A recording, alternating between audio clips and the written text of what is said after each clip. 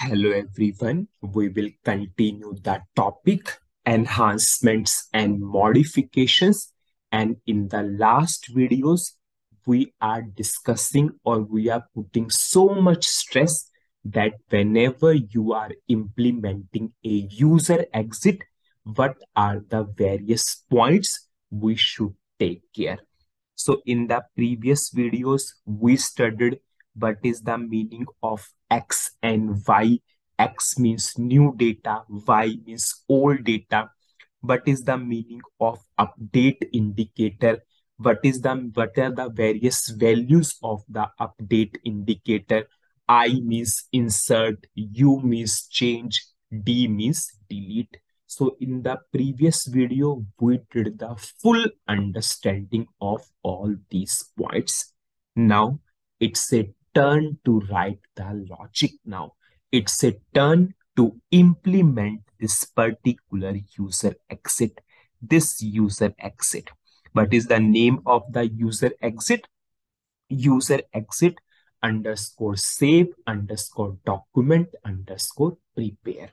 Now we will go for a extremely important point, which is the most important point among all the videos.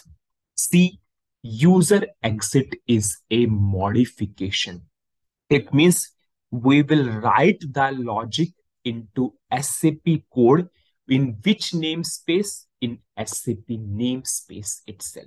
We'll just go for a better understanding.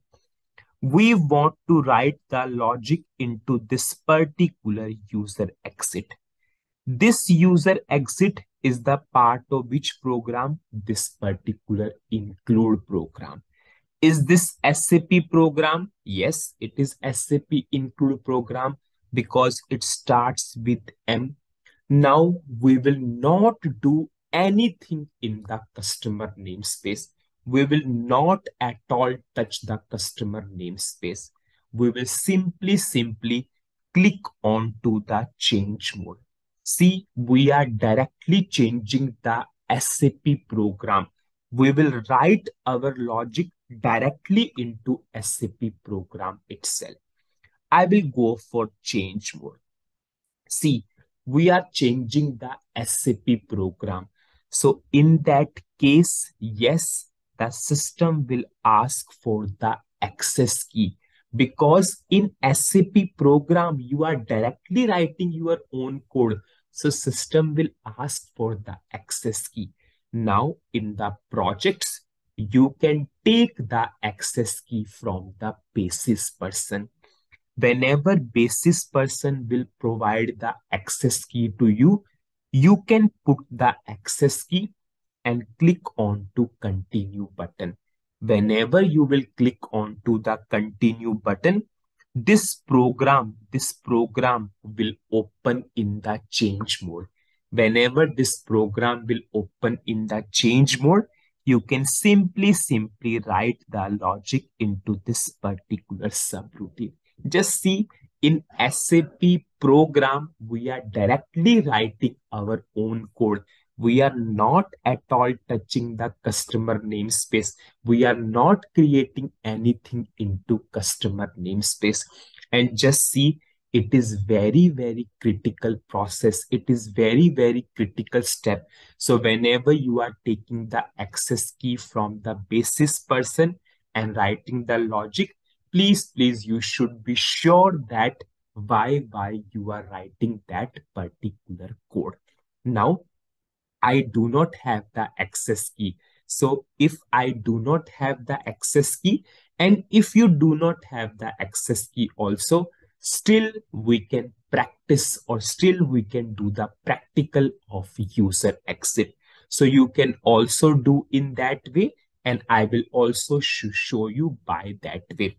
But in real projects, yes, you will get the access key and in the direct SAP program, you can write the code, you can write your own code. That's why this topic is called as modification. But from the practical perspective, nothing will hamper. I will show you other way that how we can do the practical for the same and same way you can do also.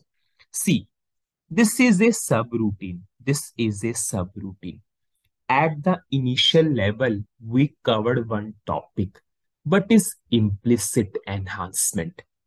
In case of implicit enhancement, we have the implicit point at the starting or last of the program, subroutines and function module.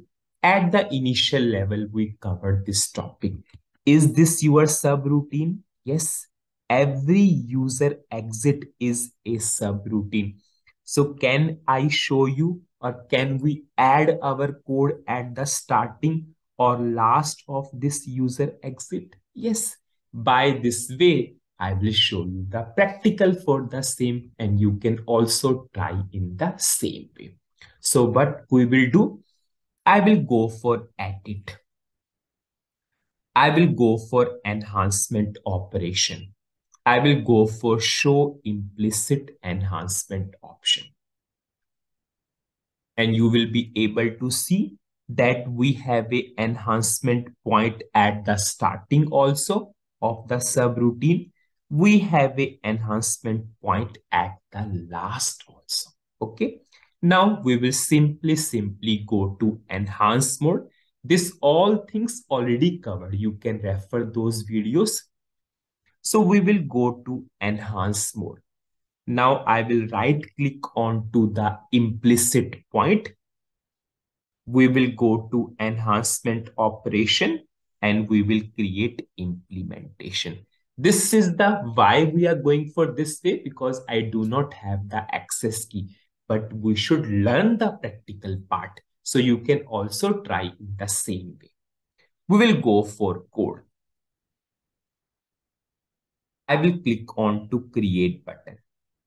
I will give some name to the implementation. Suppose I will write Z check for order quantity we are checking the order quantity. Now, I will give the short description. Checking the order quantity.